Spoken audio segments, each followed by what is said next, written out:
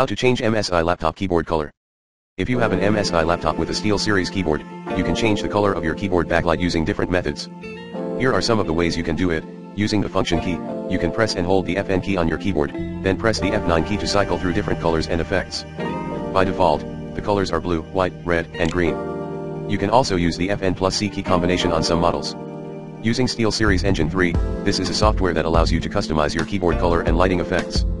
After installing it, you can open it and select the MSI per key RGB keyboard option. Then, you can choose from different presets or create your own configuration. You can also adjust the brightness and speed of the lighting. Using MSI Dragon Center, this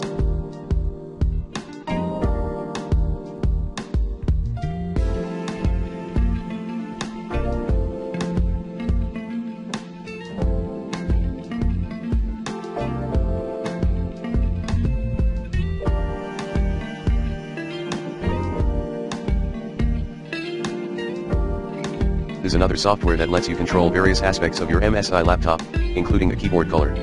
You can download it from here, Kissy Face, after opening it, you can click on the LED icon at the bottom left corner and select the LED wizard option. Then, you can check the LED wizard box and choose from different modes and colors for your keyboard.